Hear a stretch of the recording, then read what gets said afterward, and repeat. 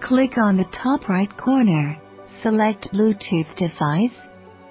Select paper type. Select template. Normal printing. Print quantity.